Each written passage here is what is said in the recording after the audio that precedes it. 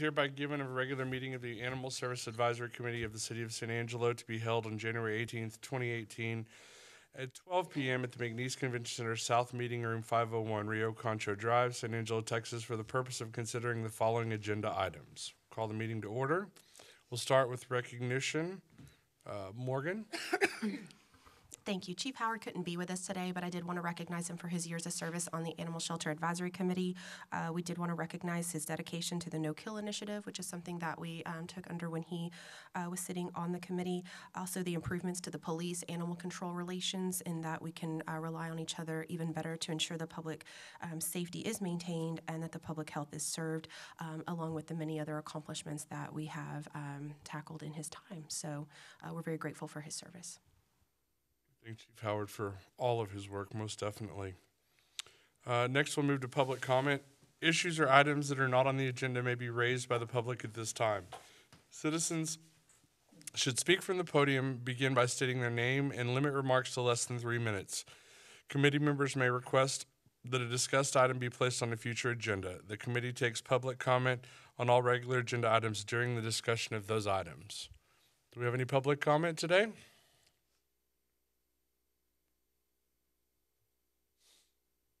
Morgan?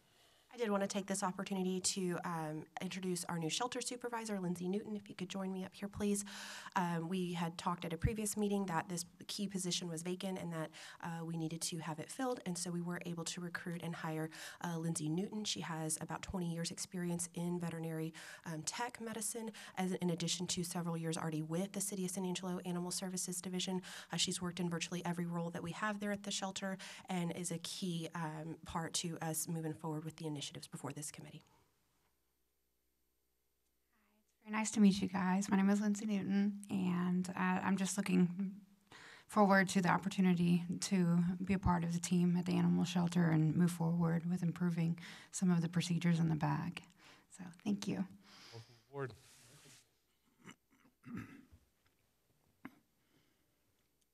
Another public comment, we'll, we'll move to the consent agenda.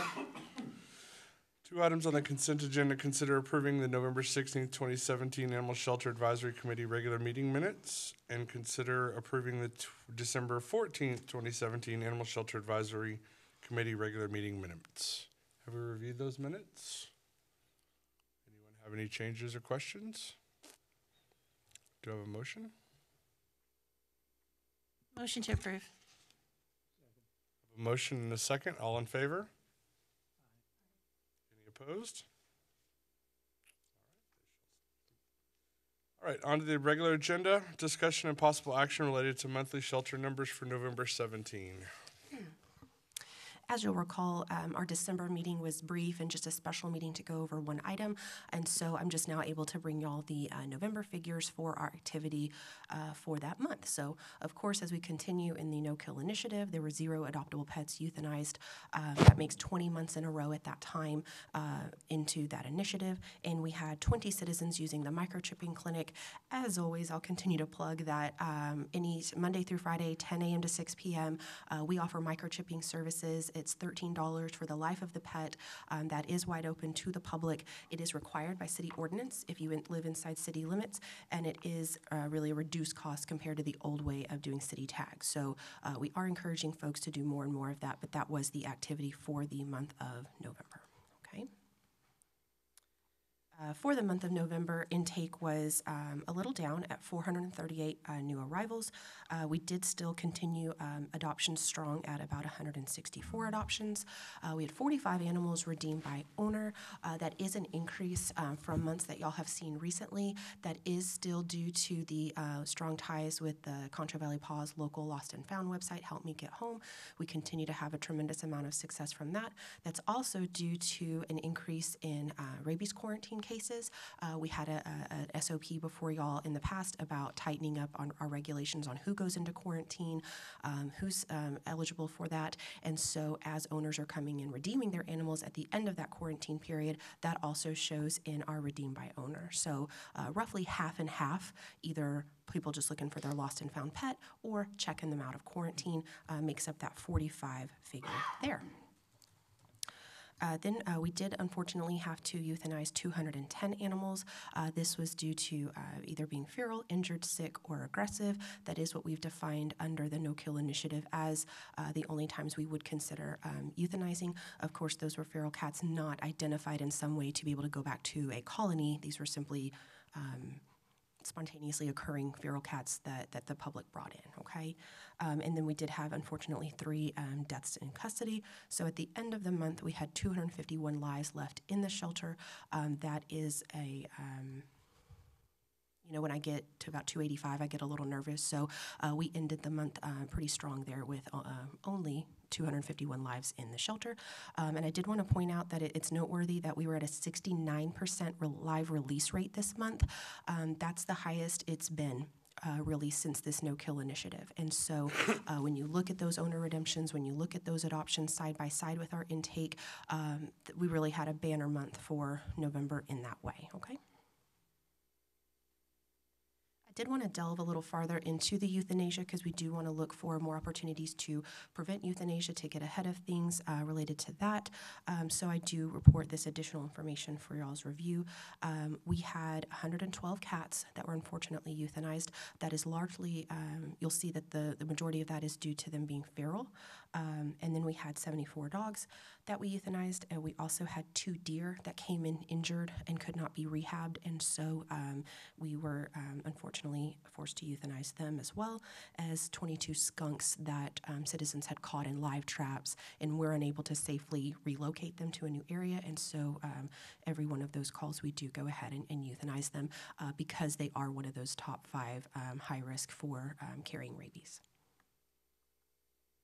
Another way to break down that 210, um, as I mentioned on the prior slide, over 100 of the euthanasias were cats. Of those 112 cats, 73 were feral. Um, and so that is the majority of, of, what we're seeing in our cats that are being euthanized.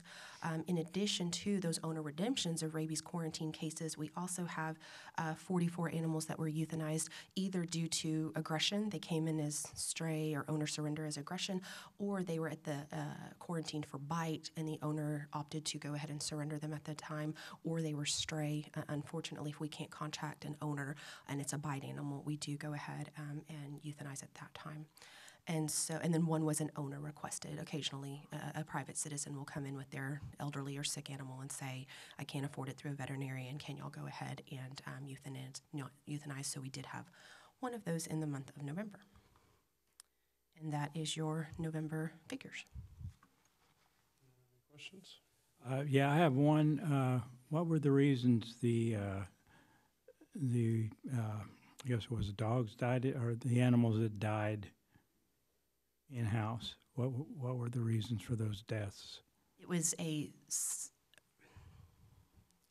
two of them were a sudden onset illness, meaning that over a weekend they developed. We left on a Friday. They did not have parvo. Uh, we came in on over the weekend, and our staff identified that they did die suddenly from uh, symptoms that we would uh, correlate with parvovirus. And then one of them came in very ill, um, and we tried to to, to do what we could for it, and unfortunately, it passed away um, instead of um, thriving from the disease they had contracted before arrival. Thank you. Yes, Any public comment? Move on to our December 2017 numbers. Uh, so for the month of December, um, I'll say that we had um, the first three weeks of December, uh, we were running aces. We had a ton of adoptions happening. Intake was way down. Uh, we were able to really focus on some key projects around the shelter itself, um, things that we ordinarily don't have time to spend on. Um, and then the last week of December, we were just bamboozled with new arrivals. So um, you'll see that in just a moment. Uh, very similar here. Uh, we are now we're now 21 months into the No Kill Initiative and 25 citizens uh, using the microchip clinic. So as I mentioned, you'll see December intake was lower at 362 animals. We had a net increase of 50 animals in just the three days we were open between Christmas and Thanksgiving. So we, um, that was, of course, with the onsl- onset of the inclement weather. So lots of folks uh, were calling saying there are stray dogs out in this freezing weather. There are um, people who are out of town who've um, left their, their pets out in this freezing weather. And so um, we did have a tremendous number of animals come in just in that three day period. Um, and so that's why at the end of the month, you see we, we're at 279 um, animals left in the shelter. Uh, we did have 107 adoptions, which is, is very strong for December. And then 49 uh, animals were redeemed by their owner. And then here we are even better at almost a 71% uh, live release rate. Of course, you'll see that even if adoptions are mostly static, if intake is down, that really helps our, our, our live release rate there. Of the 178 animals um, that were euthanized, 97 were cats, 64 were dogs. Uh, we had one possum that, that was injured and we um, euthanized it. We had two raccoons, uh, four deer, and 10 skunks. Okay. Uh, then into uh, December to break that down a different way. Uh, 56 of the euthanasias were being due to being um, sick, injured, or failure to thrive. 71 were feral cats. 32 were either aggressive or bite quarantine. 11 were wildlife, um, and then seven were um, dead on arrival or died in custody. Believe one of those was the deer um, that we tr- tried to rush it to our facility, see if we could get in contact with a wildlife rehabilitator to see if we could get in touch with the um, uh, game warden. Unfortunately, that animal passed before we could get it care. Um, its injuries uh, were too serious to sustain life at that point. Okay? And that is your December. Any questions on December numbers? Any public comment? Uh, item C is discussion of possible action related to the animal control procedures for cruelty cases.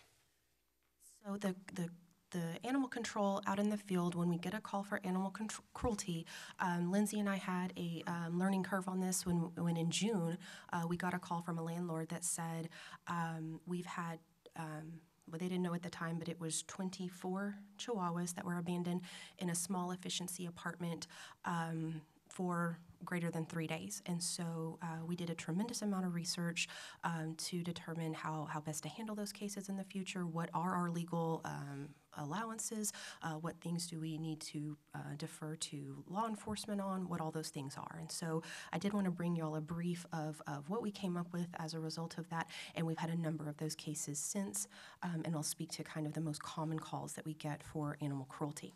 Um, so the state health code uh, mandates what animal cruelty is, uh, but those, so does city ordinance as well. Okay, so in the state health code, there are really these major reasons why um, it would be identified as a cruelty case. An animal is deemed to be cruelly treated if it is unreasonably abandoned, which we get a lot of. If it's unreasonably deprived of food and care and shelter, which goes right alongside with the first one. If it is tortured, seriously overworked, cruelly confined, or caused to fight with another animal. We don't get very many calls on this component of it. Um, luckily, so that is um, that is what's defined in the state code as what is cruel. Okay, um, so really, we made a lot of trees of this, a lot of if statements of, well, if you arrive on the scene and it's this, then do that. So that that's, um, if you'll allow me, that's what I'll go through here um, shortly. So um, if the property property owner is there, as I mentioned, it may be the homeowner, it may it may be the occupant, it may be the landlord, it may be the resident. Um, if someone is there to allow us on the property, we would immediately observe the conditions. We would photograph immediately with the animal in those conditions. That's very important for proving our case um, through the court system. Uh, we would ask for a signed property release form. In that property release form, we're asking to document the animals that are impounded. And so, for example, it was difficult to do that in this one case in June because I didn't know which animals were male, female in that moment. There's a lot of them, right? They were all tan chihuahuas, right? So um, we had to go back to the shelter and assess what that was. Um, after the fact, but ideally, you're documenting what animals, a brief description, the number of them um, in that original document for the um, property owner to sign at that time? So, and, and, and that, pro- that um, property release form allows us to take those animals into our shelter, to get them the necessary care, and to move forward from there of what do we do next? Meaning, is there a pet owner we can contact? Um, do we put them on a 10 day owned hold and then place them up for adoption? There are a number of things that can happen from that point, okay?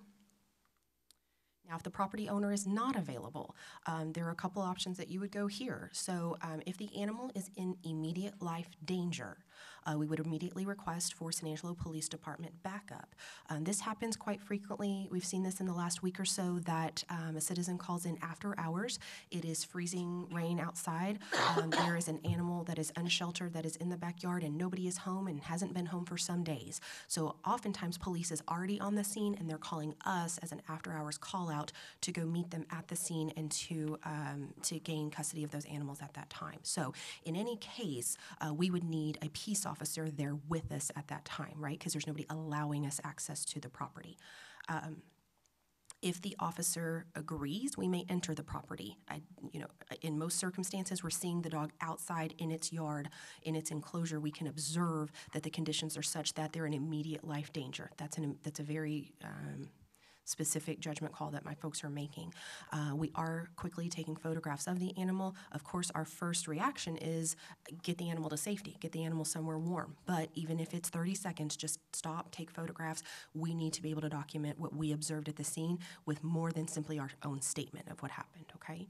Um, and then we would transport the animals to safety and obtain a seizure warrant as soon as is feasible. Okay, so uh, we would at that time document um, what we saw, uh, what was at the scene, uh, was there appropriate food, water, shelter, all of those things, um, as well as the description of the animal or animals, um, and then take it to our municipal court judge for signature. So I have a question as far as the obtained seizure warrant. Um, if it's uh, post action after the animal's already seized, what happens if, say, mm, the judge or whoever's issuing it um, disagrees with you and denies the warrant? Uh, what would result? Because I guess that'd be kind of a gray area that I'm not too sure what would happen. So I'm just asking the question. Yes, we would make contact with the, o- it would, it would be our, our primary goal to make contact with the owner. And so if we place them on a 10-day owned hold, we want to return them back to the original person. If the judge says, you did not have grounds to take these animals, we do not agree this was immediate life danger. We do not agree that this was cruelly treated.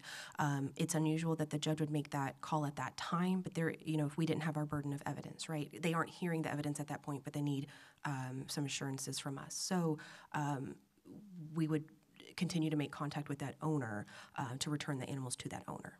Okay, I just wanted to know, and I know other people might have had that question. So. Absolutely. Very good. Morgan, do you have any like guidelines that, that your staff is going by to determine immediate life danger? Yes, and it goes back to the state health code. It, it, it, identifies if an animal is out in extreme weather, if if an animal is, uh, so that could be extreme heat or extreme cold. Um, it could be if the animal is tethered and that tether is too short and the dog is hanging itself. Um, it, there are a number of things, and it would be a decision made together with the peace officer that yes, this animal is in immediate life danger.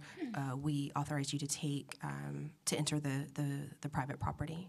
Okay. The reason I ask that question is because for years, some of the things that, that I've heard is that some of the, the issues as far as getting help, the animal, getting help to the animal was that they did have shelter available. And then, but my definition of what a, a proper shelter is, is greatly different from what some are. Is there, is there a plan to have some kind of definition in place so that you have a hardcore thing to go to? Because I know in inclement weather, I mean, again, that's something that, again, is kind of subjective The um, state health that we ran into this last cold front. right? Yes, ma'am, absolutely.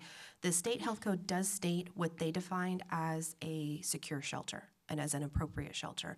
Uh, we, ca- of course, at the city level, the council can consider being more strict from that, and they would look for recommendations from y'all on if we want to define that means these things. Um, So there is an actual definition that is uh, for, I guess, purpose of law that does define proper shelter. in a And- broad sense, Yep. yes. It's just not explained in full detail here currently, right? And now. I may not agree with it. I would Well- never shelter my animals that way, but Yeah. it would State be law is very vague, it's very purposely vague. vague. I have a question on that part. As far as shelter is concerned, do you take in consideration the type of animal it is, the type of dog, for example?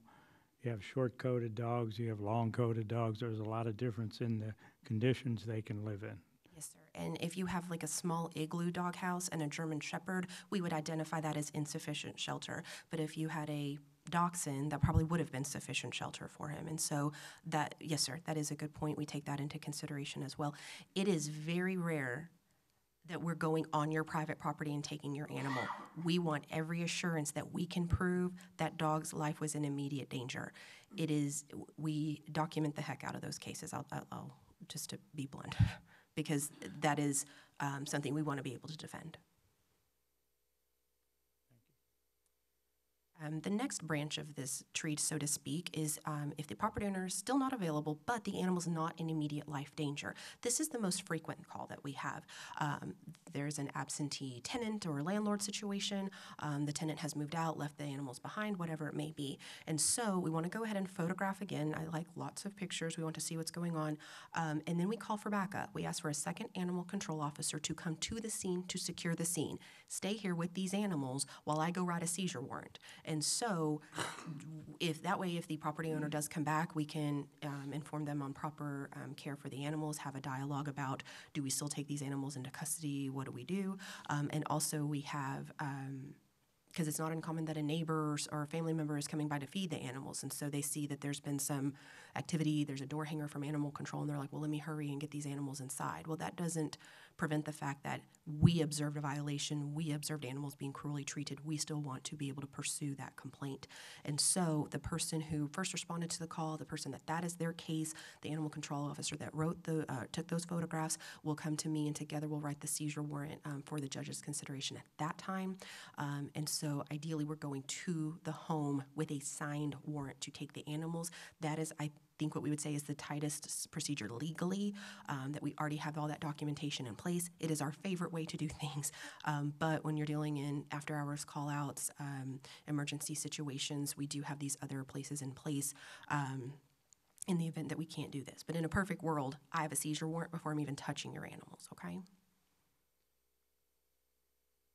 So, once the animals are in our um, custody, at that point, we would again uh, attempt to notify the owner. We want them to know that um, there's been a situation. Um, it's not uncommon that they say, What? I hired my brother in law to care for my animals. How did this go wrong?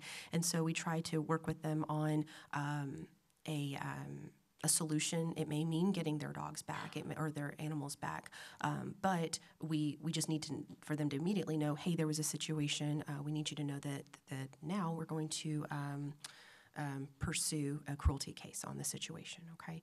Uh, we also offer an owner release at that time um, to the owner. It's not uncommon that they say, you know what, this dog wandered up about a year ago. I started feeding it. I don't do anything to care for this animal. It's become more of a hassle than I really want to bother with. I'll go ahead and sign an owner release to y'all. You already have the dog. You can place it up for adoption, do whatever you want with it. But I didn't care for the animal. That's true. And I'm happy to give it up to y'all.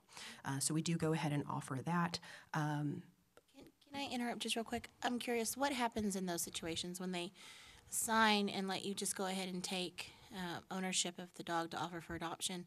Um, is are they do, do they have any ramifications for the neglect at that point? Correct. It's just one tool in our toolbox of things. Yes, you sign the owner surrender form, that helps, but I'm still going to file a complaint with the court. I still observed a violation. I'm still going to hold those animals in custody because it is, it, this is very important. We house the animals for the time prescribed by the court proceedings. So, in, in real life, this is how this would work out. I come to the judge, I have pictures, I have a warrant. I say, please sign this warrant. He does. We serve the warrant, we impound the animals, okay? Um, they said when the judge signs the warrant, he sets a hearing date. On this day, I will hear the evidence about this case. So we house the animals until that hearing date. Okay. After the hearing date, if the judge makes a court order on that date, he makes a judgment call on that day. Um, the individual, in most cases, depending on what the violation is, has still has ten days to appeal that to a higher power. They say, "I don't agree with the judge. I want to appeal it. I'm still housing and caring for the animals. They are not available for adoption. They are not available for euthanasia. They simply stay in my facility. We are housing them um, as long as that takes. So you could continue appealing. There's a long process that can become, become of that, and that's why we offer the owner release immediately because that helps a lot to to cut down on that time frame. If these animals were cruelly treated, it is not in their best interest to stay in my facility an extended period of time. If they were cruelly treated and adoptable, I want to get them into homes very quickly. Um, they need that TLC, that rehab, um, sooner than later. And so it's one tool in the box, but it does not absolve them of any guilt for the incident that we've already identified.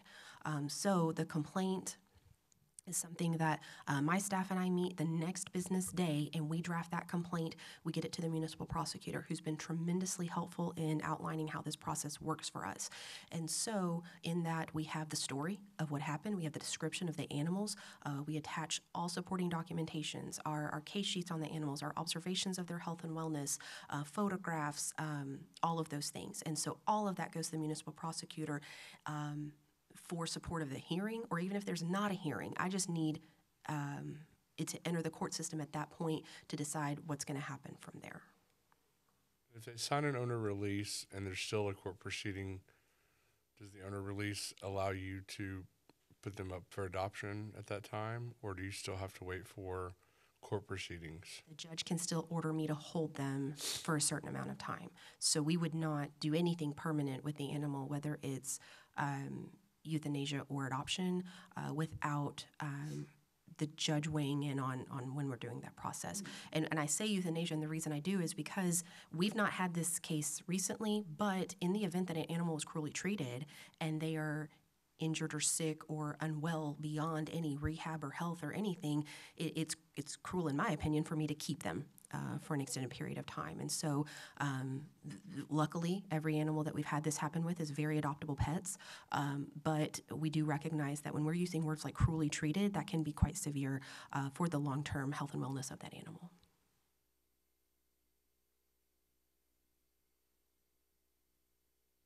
Okay, so we went over kind of some of this, but in that court order, when the judge has his hearing, he can convey the animal to the city at that point. And as I mentioned, we would hold for 10 additional days in the event of an appeal.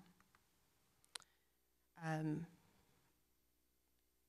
and, and I wanted to point out our our preferred method of dealing with cruelly treated animals is to um, solicit Concho Valley Paws for transport. And the reason for that is, um, you know, as big as our community is, it's still kind of a small town. So, in the event that the, these animals were seized from an individual, and those people and that individual did not want their animals seized, and the court awards them to me, I don't want an adopter to inherit a um, problem.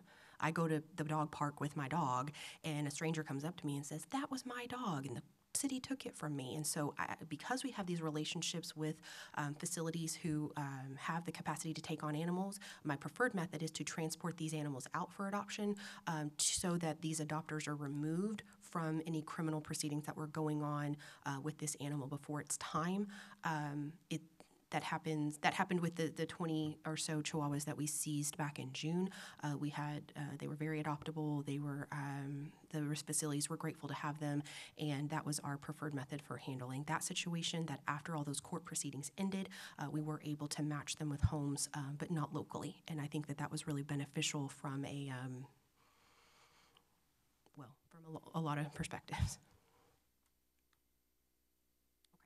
So that's what I have before you for cruelty cases. Um, we did not have a standard operating procedure in place uh, for this type of activity um, before I wrote this. So this is before y'all for consideration if you wanted to approve this as this is the way we will deal with um, cruelty cases. I think it seems to be a fair uh, method. Um, obviously, there's some more finer details n- n- that actually have in the procedure handbook, I'm sure. But as a general outline, I'd find that be a fairly simple, consistent way of dealing with them. So, anyone else have any thoughts on that?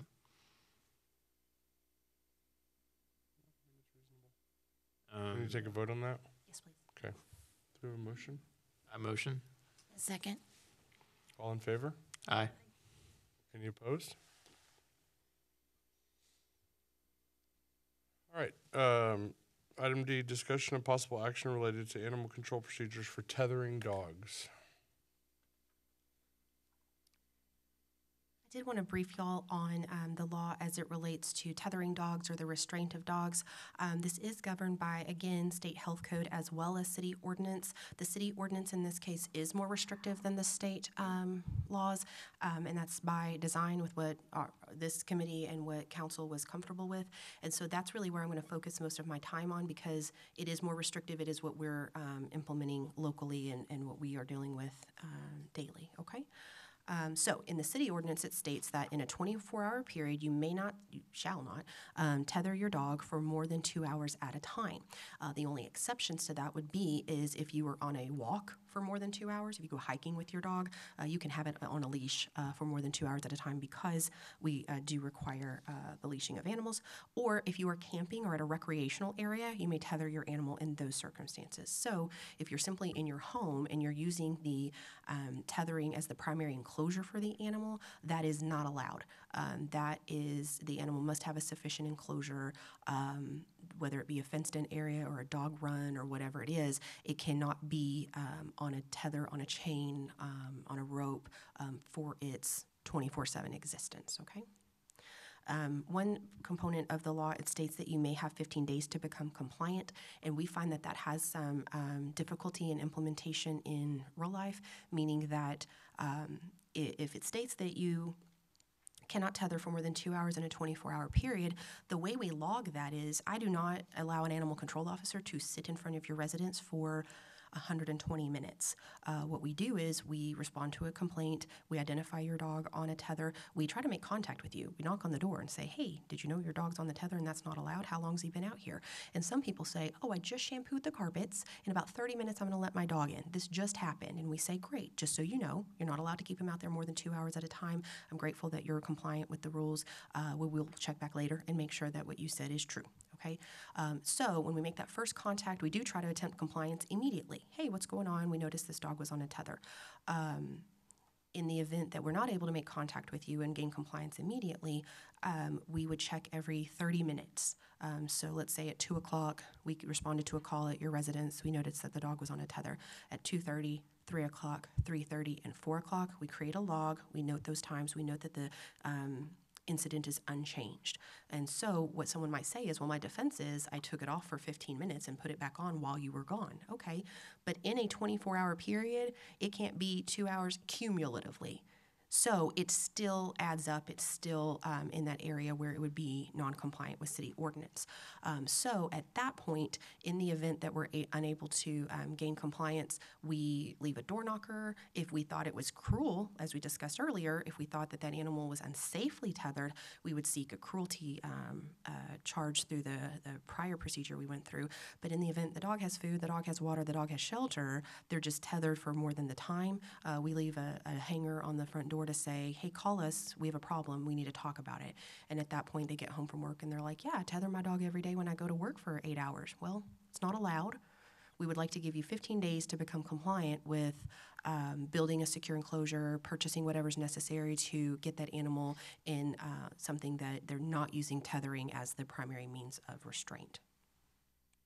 Let me ask a question there. If you're giving them 15 days, does that mean they can still continue to tether a dog eight hours a day, 10 hours a day? It does. But this also says that I can cite you at the end of two hours. So does that mean I can cite you at two hours, three hours, four hours? So the way we've dealt with this is if we've made contact with you, if I've informed you of the um, necessary improvements and you're agreeing to do that and I see progress, then we're not going to cite you every day that it's wrong. Um, I guess we could.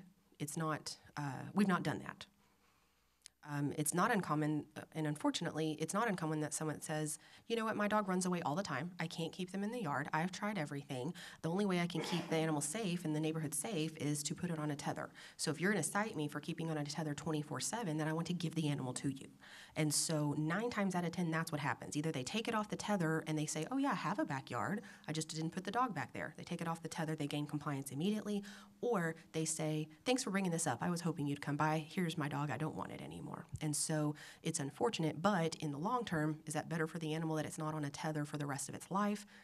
Sure. Um, but th- that's the, there is that gray area of do you have two hours to become compliant or do you have 15 days to become compliant? What made you decide 15 days? I don't know. That was, that's in the ordinance. Um, it was in a prior discussion, uh, before this committee and ultimately to city council. Um, that's not something that I said at my level. That's something that's been written into law. Okay. How difficult is this for you to enforce? What are some of the challenges that you, that your animal control officers have? The biggest challenge is folks aren't home. Um, folks ignore our door knockers. Uh, we go by again and again and again and have trouble gaining compliance. And so, um, Would you like to see this uh, 15 days to be compliant reduced?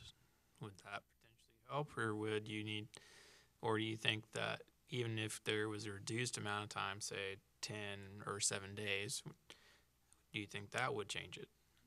I've discussed this um, this service with with other cities, and they do it a variety of ways. Some do it exactly like we do, and they're like, yeah, there are flaws in the system, but you know, the majority of the time we're gaining compliance. Some are way more lenient, and they're like. You're absolutely allowed to tether your animal, no problem. And then some are in- infinitely more strict. A few very small, you know, bedroom type communities where they have highly regulating how their citizens can live. And so um, I'm not before you today with any necessary edits to the to the plan. It's admittedly um, it's admittedly odd to read, but in real life application, it's working. It's it's working for us. Um, so it is working, but there's occasionally one or two hiccups. But if we, but if you changed it, it would probably create more headaches. I don't I don't know a better way. Every any way you could change this is going to have its own set of headaches. And so even if it takes 3 days, 3 weeks, some amount of time for me to gain compliance, at some point um, I I authorize an animal control officer to swing their shift, and they're like, "Well, instead of working eight to five today, I'm going to work seven to four because I can catch folks before they go to work."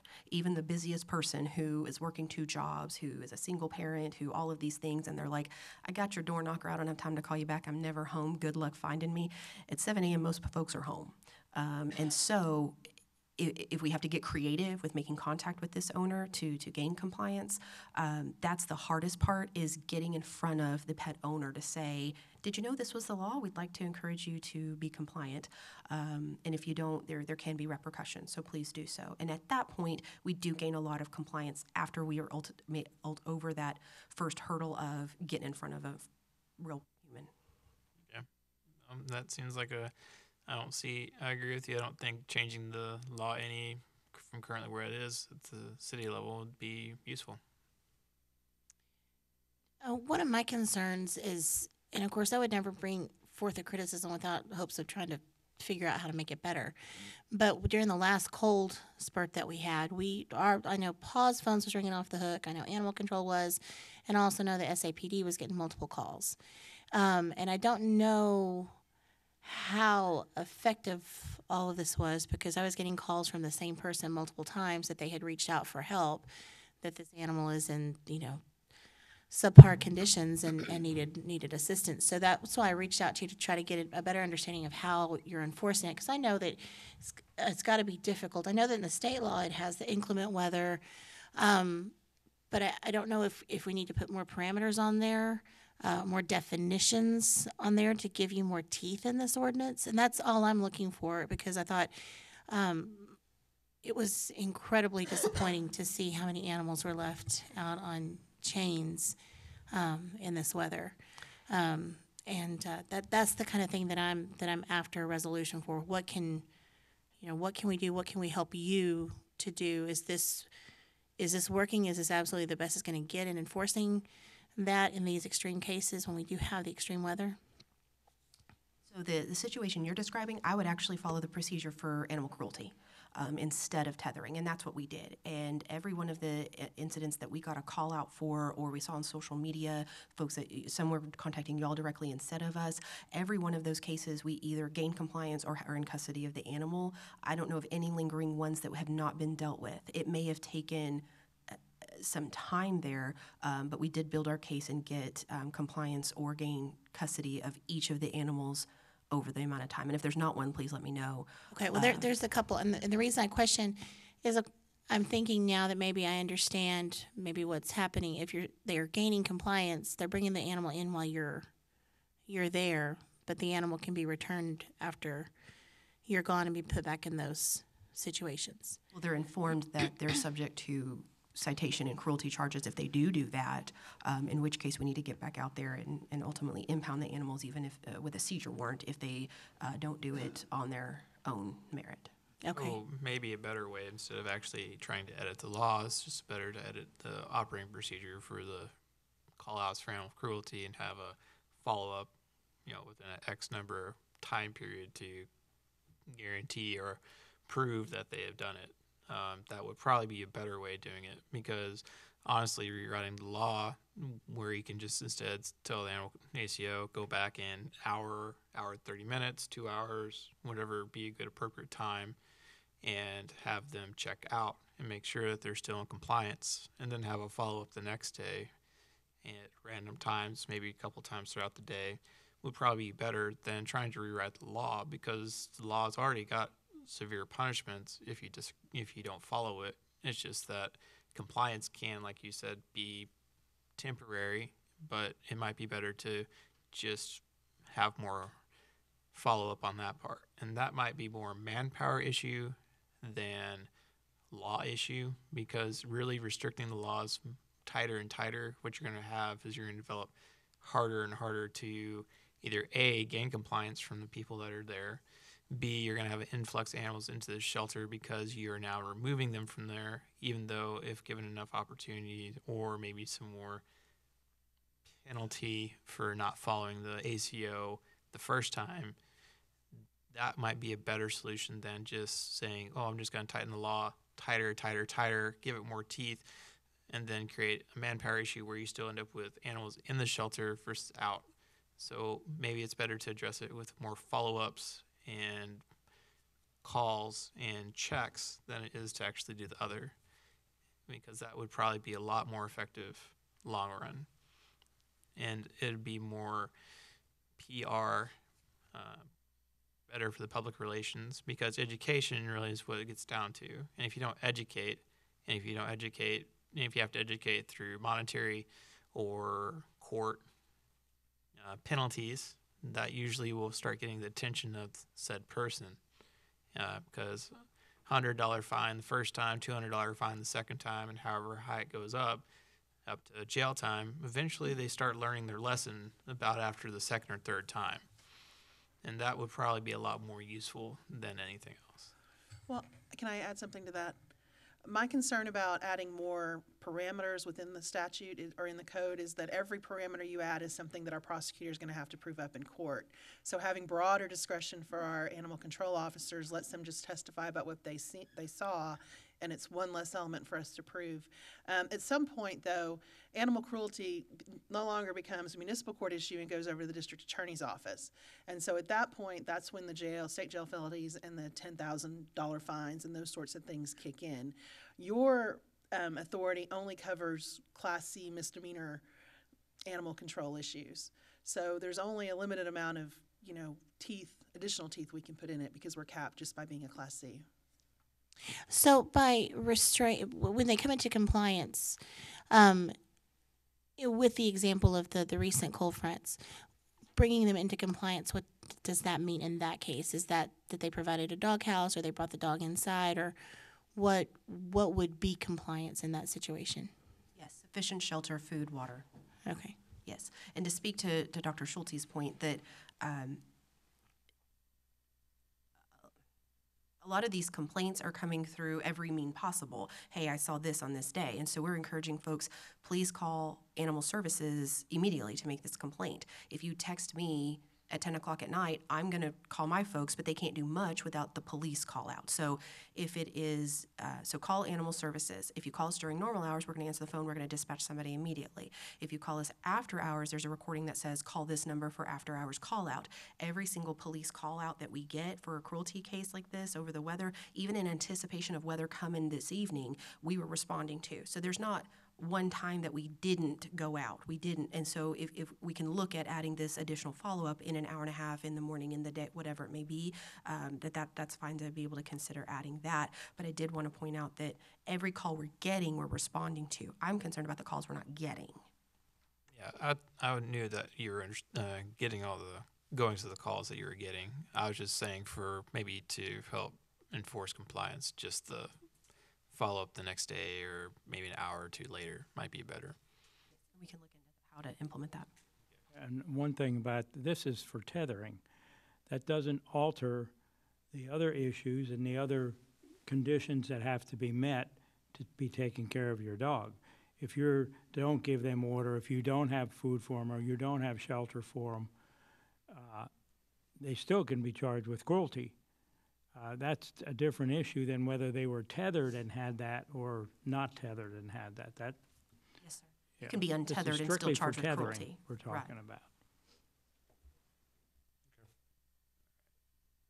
So no recommended changes at this time. Just wanted to update y'all as it seemed timely and um, wanted y'all to have this information.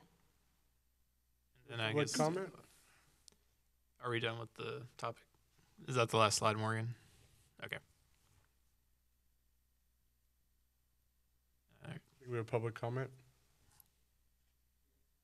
You'll step up to the podium, sir.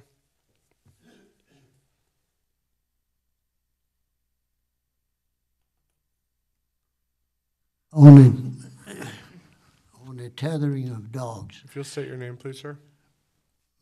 Bill Lockett, and on the tethering of dogs, you usually find, it's very simple for an animal control officer to look at the dog where it's tethered, and you usually find a di- if there's a dish there, it's full, half full of sand or dirt, and of course it's not not being used. So there's many uh, indications on how long the dog's been there. the, there's a trail worn out around what he's tethered to, and uh, so it's not hard for an animal control officer to know if that dog has been there or is being tethered a long time, and that would be the indicator to go back and check on the dog, as uh, as she indicated and uh, make further charges, you know, other than tethering.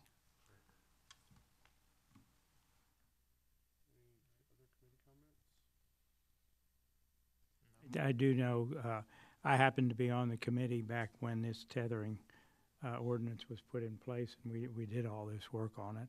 We spent a lot of time on it at that time, and uh, we felt we came up with a, a good system with the two hours. We're actually more stringent than the state is. Uh, The state just doesn't it between 10 and 6, 10 PM and 6 AM. Well, two hours, uh, that's more stringent than what they are. So I, I think our city ordinance is real good on that. So because this is currently in place, we don't need to take a vote on it? Correct. Just an infor- informational item. No action taken. Next, uh, we have number six, follow-up and administrative issues. I have nothing.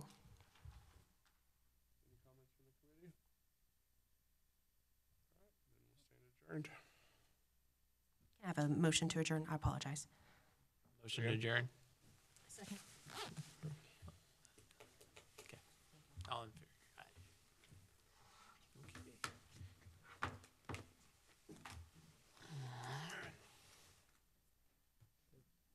There is more to that ordinance too, and as far as where they can be tethered and how far away from a fence and how long the tether is versus, so the dog can't Wow, go we over were the fence nervous and about hang putting them back themselves. together again for There's the still first more to time. it, but But it was so Yeah. sweet.